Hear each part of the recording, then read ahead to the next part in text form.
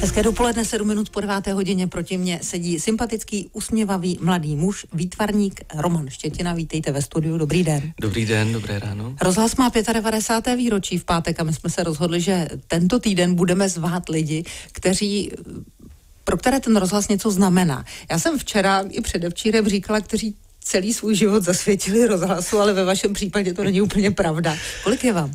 Je mi 32. Je vám 32. 32. Říká se, že eh, lidi se dělí na to, jak k ním přicházejí informace na ty vizuální, auditivní a potom na ty kinestetické typy. Eh, jste auditivní? Uh, asi jo, ale zároveň ten můj zájem o rozhlas možná plynul z nějaké jako potřeby se vyjádřit a tím, že já uh, jsem nikdy netíhnul těm klasickým médiím kresba, malba, socha, ale zároveň jsem jako tíhnul k tomu se vyjadřovat skrze umění, tak ten rozhlas nebo e, nějaký, nějaké audio, tak bylo na snadě a možná, že nechci říkat, že to byla znouzecnost, ale paradoxně mě rozhlas a audio e, dovedlo k vizuálnímu umění. Můžeme potom si říct, jakým způsobem a, a, a, a proč, ale možná jednoduše a ve zkratce proto, eh, že byť je rozhlas výsostně auditivní, tak v sobě skrývá spoustu krásných, eh, neuvěřitelných, vizuálně atraktivních aspektů, jako je architektura rozhlasových studií. A technika je taky krásná. Technika je taky krásná a mě zajímá technika, mizející technika, mizející obrazy, ale hlavně technika v souvislosti s lidmi, jo? že technika pro mě nikdy neexistuje sama o sobě, ale, ale eh, technika existuje jenom, eh, když, jí někdo, když si někdo pracuje. Tam mě jako zajímá. Je to zvláštní, že mladý 30-letý muž je přitažen k rádiu a k některým, zejména starším jeho atributům, ať už se jedná o některé technické a technologické záležitosti, anebo o lidi, tak silně. Jak je to možné? Nevím.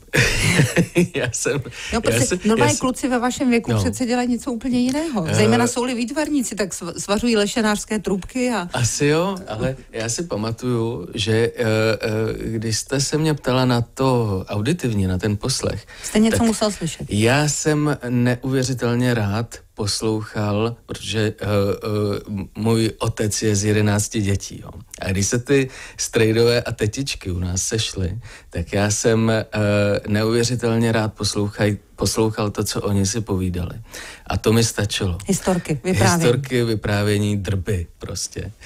A uh, a potom uh, jsem tak nějak sám, byť uh, mě k tomu někdo nevedl, uh, uh, začal poslouchat rádio ve svém pokojíčku, Naladil jsem Vltavu a uh, slyšel jsem něco, co jsem tehdy nedokázal vůbec identifikovat. Přišlo mi to jako, že je to film bez obrazu. No a byla to rozhlasová hra uh, od Ludvíka Aškenáziho. Bylo to na váš účet, jak jsem zjistil asi po pěti, šesti letech, protože já jsem tu hru neustále dohledával. Tehdy. Kolik vám bylo? No, asi 12 let a tehdy jsem ani neměl přístup k internetu, možná ani nebyl u nás na vesnici zaveden ale, eh, ale bylo to něco, co mě totálně zasáhlo a, a, a, a nějak to změnilo asi jako moje vnímání a to, co eh, jsem potom eh, začal vyhledávat hmm. a čemu jsem se začal nějak věnovat.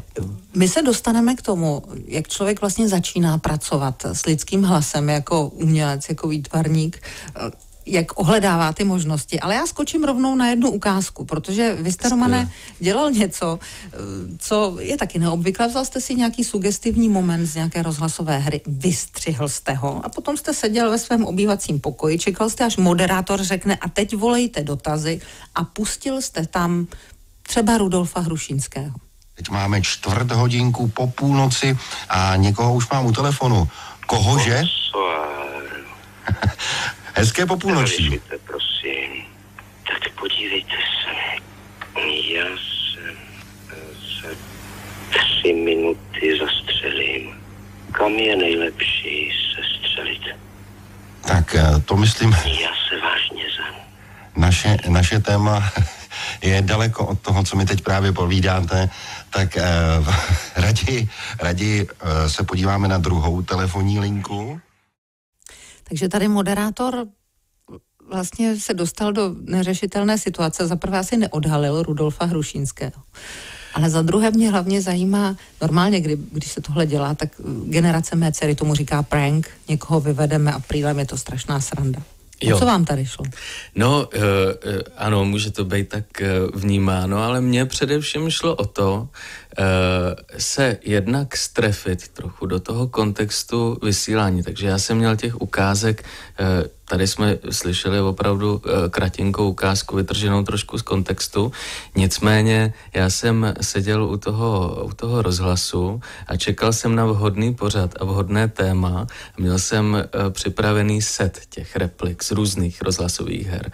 Zajímalo mě eh, několik věcí. Zajímalo mě vlastně vyzkoušet, do jaké míry je ta dikce dobová Eh, vlastně uvěřitelná v tom reálném vysílání. Jestli jako když Rudolf Hrušinský řekne bonsoir. Tak tohle jsou 60. léta, ne? To jsou 60. léta, je to ze hry Ludvíka Aškenázyho, bylo to na váš účet právě. A, eh, a já jsem testoval, jestli, jestli je tahle ta dikce vůbec v reálu uvěřitelná. A překvapilo mě, že to někoho uh, skutečně může vyvést z míry. Kdyby to byl méně známý herec, tak pochybuju daleko víc o tom, jestli uh, takovýhle planý poplach v živém vysílání dělat. Zajímalo mě ale taky to vrátit uh, do toho vysílání uh, obsah, který ten uh, rozhlas kdysi odvysílal a udělat takovou smyčku. Časová smyčka. Takovou časovou smyčku, ve které vlastně ožije hlas, který už je mrtvý, nebo který ožije herec, který už zesnul a na malou chvíli uh, pár lidí uvěří, že, že je to že reálný volající. Že to je reálný. No, ještě jeden hlas si poslechneme. Přeji vám dobrý večer do Prahy. Halo, halo. Halo? Tak, halo, jste tam? Se, prosím vás, že obtěžuju, ale potřebovala bych se poradit o takové ano, můžete. moc důležité věci. Tak povídejte. No prosím. 8 hodin odjíždím do nemocnice. Tam už na mě čeká lůžko a můj starý známý pan doktor, který mi samozřejmě přímo nic neřekl, ale obavíme svoje. Bytě jsem už všechno poklidila, vyprala, pospravila, aby mě sousedky nepomluvily, až si to budou rozebírat. Jsem sama, víte, už dlouho jsem sama. A dnes eh, celou noc jsem rovnala papíry z důvodu, které jsem vám řekla a psala dopis. Napsala jsem dopis synovi, ale nemám ho kam poslat. On je v cizinecké legii nebo čertví, kde napsal mi před deseti lety z Afriky a dost. Ale on se vrátí až se Jirka vrátí domů, já už tu nebudu a potřebovala bych, aby mu někdo odevzdal můj dopis. Nemohla byste mi poradit? Mohl byste poradit, pana doktore? Já teda ne. Já, žel, asi také ne. Tak kam jste se to, Romane, dovolal s Olgou Šejnflugovou? Eh, tohle bylo Nocturno, myslím, že dokonce to mělo podtitul Nocturno pro osamělá srdce. Eh, vy pláčete, koukám. No, protože ta Šejnflugová je po letech neuvěřitelně uvěřitelná. Eh, tohle je přece inscenace ze 60. nebo tak uh, zhruba? Ano, je to, je to inscenace Lenka důvěry, myslím, že spadá do konce 60. let. Ale ona je civilní, přece ta dikce tehdy byla úplně jiná. Ona je neuvěřitelná a já si uh, zpětně trošku vyčítám, že uh, jsem se bál, že mě odstřihnou dřív a tak já jsem zkracoval pauzy mezi slovy. Jo, Takže jste ji prostříhal Já trošku. jsem ji trochu prostříhal, aby byla rychlejší, ale vím, že by ji nechali, i kdyby mluvila tak, jak, jak, jak, jak, je, to na, jak je to zaznamenáno v té hře. A tohle byl tedy pořád Nocturno uh, pro osamělá srdce na Českém rozhlasu Dvojka, kam se dá telefonovat, seděl tam lékař, uh, eh, psycholog, psychiatr, nevím přesně, eh, který eh, mohl poradit s některými problémy. No a mně bylo jasný, že, že tady ta ukázka s Olgou Šenflugovou z té hry Linka důvěry, která vlastně má, to je podobný formát na Linku důvěry, volá tedy Olga Šenflugová s tímhle problémem, tak tak, eh, takže to musím zkusit. No a tohle je výsledek. No a teď ten výsledek. Já si představuji Romana Štětinu, jak má připraveno několik hlasů, několik treků, sedí u telefonu se svými přístroji. Je nervózní. Je nervózní. Jste nervózní? Byl jsem nervózní. Mě, Jste nervózní to... proč? Že to nevíde, nebo že podrazíte toho moderátora, nebo proč? Mě, byl to obrovský adrenalin. Asi uh, já jsem tohle připravoval jako svů, výstup svojí bakalářské práce uh, v Plzni, kde jsem studoval uh, na Ústavu umění a designu, tak uh, byl to prostě plán, který jsem doufal, že vyjde. Byl jsem nervózní, jestli to celý nějak, jestli to vyjde, no, ale, ale nedokážu asi úplně přesně Já se zeptám jinak, je v tom nějaká taková tajná radost, že vlastně vy uděláte něco, co se vám povede, vrátíte ten hlas zpátky tam, kam patří, domů v podstatě a jste nepoznán? Jste nepoznaný strujce, umělec prostě bez jména? Jo, jo, jo. E, to, to byla vlastně, eh, ano, to byl záměr, byla, byla to ta největší radost téhle věci. Eh, dokonce jsem byl rád, když to potom jako přišlo, eh, eh, eh, když to byla taková jako sdílená, když si to lidi vyprávěli, že, že, že si to že vyprávěli, tuhle, tu, ano, že slyšeli, že uh, jsem tohle udělal, nebo že zaslechli uh, tuhle tu intervenci někde a šířilo se to uh, vlastně pomocí nějaké, nějakých jako historek. Vy jste studoval Akademii výtvarných umění. Kolik umělců pracuje ve světě jenom se zvukem? Myslím čistě se zvukem. Jste ne, sám. nemám, nemám žádnou statistiku a uh, vlastně uh, já, těžká otázka, protože uh, já, já to vnímám tak, že se zvukem pracuje každý, uh, kdo... Jsme taky umělci teda tady. Ano, no jistě. No, no jistě Můžu si to tak jistě, jako chviličku myslet. Jistě, ale musím říct, že uh, já to rád potom jako uh, nějak upřesňuju, že co přesně mě zajímá, na rádiu a na rozhlase a je to eh, eh, a na mluveném slově, ale především tedy na rádiu, tak je to vlastně ta, ono umělce přitahovalo od samého začátku. A je to vidět, eh, demonstruje to manifest eh, La Radia od eh, Marim Netyho a Masnáty, italských futuristů, kteří jako ten příchod toho nového média v roce 1933 tím manifestem oslavují a říkají, prostě rádio překonává ty geografické vzdálenosti, je to médium, který překonává divadlo, kinematografii a knihy. A e, já zas nejsem e, takovej nebo ještě jsem zapomněl na Bertola Brechta, eh, Bertolda Brechta, který zase eh, si představuje rádio, takže to nebude jednosměrné vysílání, jako vysíláme a někdo poslouchá, ale že to bude nový komunikační prostředek, že budeme děla, tvořit jednotné dílo všichni společně.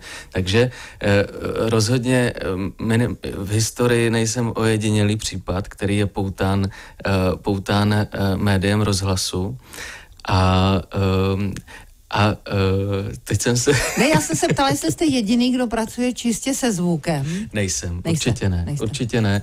A uh, já mám takovou jako mm, tak, takový jako zvláštní přístup, že některé umělce, kteří pracují čistě se zvukem, zase jako, myslím, že je to jenom médium, jo? Že, že mám oblíbené umělce, kteří pracují se zvukem a mám neoblíbené umělce, kteří pracují se zvukem, nebo kteří se mě netýkají a je to podobně, jako mám oblíbené malíře a, a neoblíbené malíře. Rozumím.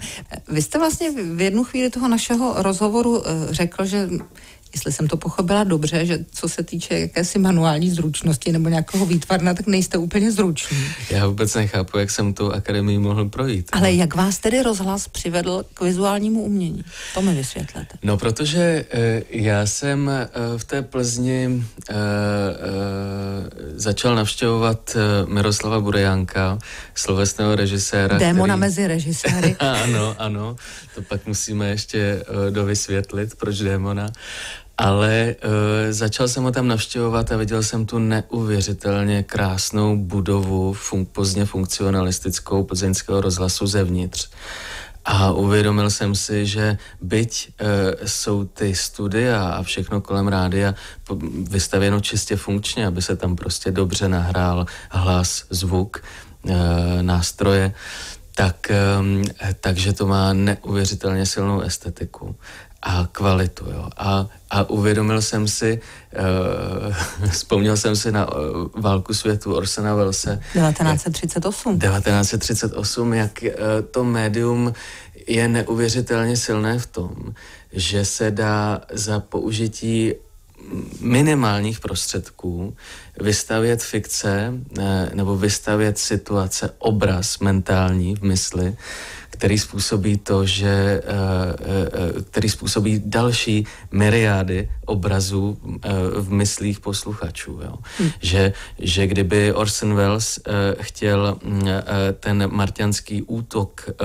simulovat nebo vystavět tuhle tu fikci skrze film nebo skrze noviny, tak, tak je to, stojí to, strašné peníze. tak to stojí strašné peníze. Ale on, si, on se zavřel s partou herců a muzikantů a, a, do studia a e, miliony lidí uvěřili, že, že na nás útočí Marťani. Pojďme se vrátit k režiséru Buriánkovi. V roce 2016 vznikl pravděpodobně jeden z nejlepších českých filmů, který jste natočil vy. A není to nic jiného, než vlastně dva dny, které jste točil ve studiu, jak vzniká dramatizace básnické sbírky Návod k použití Jiřího Koláře. Tam už vám ale zvuk k vyjádření toho celého nestačil. Proč? No, uh, protože uh, já jsem byl několikrát přítomen uh, natáčení rozhlasových pořadů, který režíroval Miroslav Buriánek. A vždycky mi přišlo škoda, že nikdo nevidí, neslyší, ale hlavně nevidí uh, tu situaci to, jak Miroslav Buriánek uh, režíruje, že je to rozený performer a že uh, mě vždycky zajímal proces uh, tvorby spíš než uh, nějaký výsledek. výsledek. Ten výsledek je taky uh, uh, zajímavý, ale mě zajímá vystavovat proces. Jo. A, a, a Miroslav Buriánek a jeho performativní způsob uh, režírování byl prostě ideální uh, objekt uh, pozorování. A e, já jsem tímhletím dílem chtěl trošku splatit dluh e, právě Miroslavu Burjánkovi, Jiřímu Kolářovi a hercům, kteří tam e, v tom, v tom díle se objevují, což je amatérský spolek Klas, který mě vychoval k divadlu v Klášterci nad Ohří. A mně prostě, já jsem Miroslavu Burjánkovi řekl, že ho, že zaplatím studio, zaplatím herce a že jediné, co budu dělat, že budu dva dny sledovat proces vzniku téhleté inscenace, inscenace té básnické sbírky Jiřího Koláře. To je škoda, že ten režisér je takový neviditelný umělec. Je, je a uh, to si tak trošku uh, kladu za cíl i v jiných projektech, nechci teď odbíhat, ale uh, mě prostě baví vytahovat tyhle ty skryté obrazy, skryté procesy, skryté hr- hrdiny a, a rozhlas je ideální instituce pro hledání. Protože jsme neviditelní. Alespoň bývali jsme. Já bych se možná ještě zdržela u režiséra Miroslava Burjánka, legendárního našeho režiséra a performera, jak vy říkáte. Co on vás naučil? O slovu, o intonaci, o zvuku, o výtvarnu, o tom, co jste ještě nevěděl. no, asi, uh, asi nějakou bezprostřednost, jo, nebo on mě učí neustále, uh, uh, že jo, on, on je neuvěřitelný učitel nějaké bezprostřednosti a a to je ta věta, kterou říká, nauč se to na spaměť a potom odhoď papír a buď sám sebou? Jo, jo, asi tak, asi tak. Těch vět je tam ně, několik. Ale uh, je to je to o tom, že asi i pozice umělce, a Miroslav Borejánek je umělec, je o tom uh, měnit způsoby nahlížení a vnímání. Jo? V, uh, a uh, a, a to mě asi naučil. Hmm. Jo. Ne, já bych nejenom měnit způsoby nahlížení, ale vlastně měnit i eh, prostředky výrazové, kterými ten příběh vyprávíte, co rozhoduje u vás, u výtvarníka Romana Štětiny? Jestli vytvoříte dvouhodinový film nebo pětiminutovou performanci, jestli to bude beze slov, nebo jenom eh, podle čeho si vybíráte? Jestli budete používat rekonstrukci nějakých starých hlasů a vracet je do vysílání, je to podle chuti, podle momentálního nápadu? To, kdybych věděl. tak dobře, co teď děláte? Tak teď, eh, jak jsem říkal na začátku, mě zajímají uh, mizející obrazy a, já se teď věnuju uh, obrazu mizející cigarety z kinematografie. Hollywood jakožto místo a, a, a, a studia hollywoodský a, a kinematografie, která nějakým způsobem odstartovala ten fenomén kouřícího hlavního hrdiny. A, a to, že vlastně to už teď nevídáme, nevídáme ale ani elektronické cigarety. Pozor, i vlk ve filmu Nupagadi už má jenom lízátko. no to jsem ani nevěděl. No, tak už to víte. No, a, a vlastně uh, mě zajímá jako sledovat tuhletu, tuhletu stopu, jo, tý, tý mizející, mizejícího kouření, jo. Uh, a, a to používáte jenom Hollywood, nebo, nebo používáte, no v rádiu se cigareta moc ne, ne, nefrekventuje. Ne, ne, ne, ne, rádio je, rádio je samozřejmě jako jed, jeden z obrovských inspiračních zdrojů, ale já jsem se postupem času posunul právě i do pozadí vzniku, eh, eh, nebo zajímá mě nějaký zázemí vzniku pohyblivých obrazů, jak tomu, jak překládáme moving image do češtiny, takže pohyblivých obrazů, takže některá díla také vznikala na Barandově ve filmových studiích a tak dál. Takže tohle cigaretka se víc týká jako, jako kinematografie. Hmm, takže je to o nápadu spíš, jestli jsem to dobře pochopil. Furt se držím vlastně těch, těch obrazů mizejícího světa. mizejícího světa, asi tak. No. Pavlína Trpkošová píše, ráda bych se zeptala, zda bude někdy probíhat výstava vašeho hosta. Je něco, co by rád návštěvníkům výstav předal? Eh, určitě já budu mít takový velmi hektický podzim, protože mě čekají tři velké samostatné výstavy prakticky. Návod k použití Jiřího Koláře, eh, dílo, které jsme spolu vytvořili s Miroslavem Buriánkem, bude vystaveno ve Veletržním paláci v Národní galerii eh, a, a na výstavě, která bude právě se, se zabývat tématem, tématem mluveného slova a e, bude tam spolu se mnou vystavovat ještě chorvatský umělec Damir Očko. Uh, druhá výstava, a to bude v říjnu, to jsem neřekl, Uh, druhá výstava, kterou plánuju v listopadu, bude v galerii hlavního města Prahy uh, v Colorado Mansfeldském paláci a ta se bude zabývat zase médiem papíru. Obrazy mizejícího světa, zase jsme ano, zpátky u toho. Ano, ano, a ta bude vznikat ve spolupráci s papírnou eh, v Perštejně z eh, obce, ze které pocházím eh, na severozápadě Čech. Um, a potom budu mít ještě samostatnou výstavu v Polanské galerii, v galerii, která mě zastupuje v Brně. Uh-huh. Pojďme na další dotaz. Martin Skolína se ptá, když pracujete s rozhlasem jako s inspirací, jak dobře ovládáte rozhlasovou techniku? Já bych řekl, eh, že eh, jsem poměrně zdatný střihač eh, a měl jsem poměrně intenzivní školu, protože já jsem od roku 2010 do roku 2012 připravoval s týdenní periodicitou rozhovory se současnými umělci pro Český rozhlas Vltava. Je to docela těžká věc, takový rozhovor s umělcem. Ne? Naprosto, naprosto. dost, dost drsná disciplína. Velmi. A netrouf bych si to dělat živě, to vás ne. obdivuju. Ne, ne, ne, ne, ne. Takže já jsem s umělci trávil vždycky dvě, tři hodiny e, času v ateliérech, v jejich přirozeném prostředí, pro ně je to taky příjemnější. No a potom jsem e, víkendy a víkendy střihal a střihal, abych z toho měl e, dobrých 20 minut. Pojďme na otázku Tomáše Laušmana, je poslední. Eh, eh, dobrý den, Romane. Sleduji rozhovor s Lucí, je to velmi příjemné. Eh, dalo by se něco z tohoto rozhovoru použít a brát jako umění? Je výborná pro vás jako umělce pracujícího se zvukem inspirující? Uh, nevím, a nemusíte být diplomat. No, já jsem dělník, já to jo, snesu. Jo. Nevím, jestli jako umění, jo, mě vždycky, jako, já si vždycky ten rozhovor musím poslechnout uh, zpětně. Jo. Tak si vystříháte Takže, ta plevelná slůvka. nicméně je to pro mě velmi jako inspirativní záležitost, protože uh, já jsem se dostal na Akademii výtvarných umění na doktorát. Jehož tématem je právě mezera mezi insidery a outsidery a jakým způsobem zprostředkovat uh, současné umění veřejnosti. A vy jste e, takový zprostředkovatel tady právě teď. A to, jakým způsobem my se bavíme o umění a jakým způsobem já dokážu taky formulovat e, a zprostředkovávat nějaké svoje myšlení, je pro mě vlastně důležitý.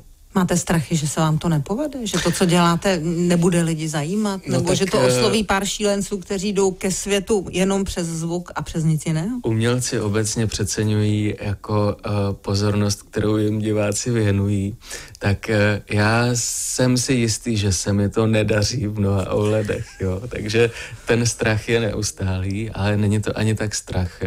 Je to vlastně...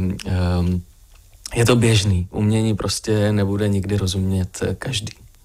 Děkuji, že za, zachycujete obrazy mizejícího světa. Budeme se snažit, aby rozhlas ještě dlouho zůstal rozhlasem. Výtvarník Roman Štětina byl hostem radiožurnálu. Ať se vám daří. Těšilo mě také. Lucie Výborná od mikrofonu přeje dobrý den. Ať se daří i vám. Děkujeme, že sledujete YouTube kanál Radiožurnálu. Pokud se vám tenhle rozhovor líbil a nechcete si nechat ujít další, klikněte prosím vlevo dole na tlačítko odebírat. Děkujeme.